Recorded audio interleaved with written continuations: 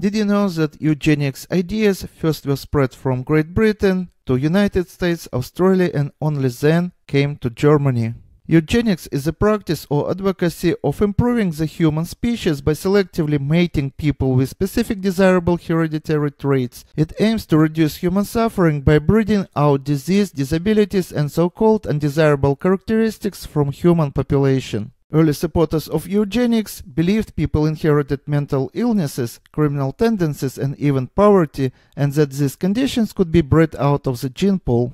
Historically, eugenics encouraged people of so-called healthy superior stock to reproduce and discourage reproduction of the mentally changed or anyone who fell outside of the social norm. Eugenics was popular in America during much of the first half of the 20th century, yet it's earned its negative association mainly from Adolf Hitler's obsessive attempts to create a superior Aryan race.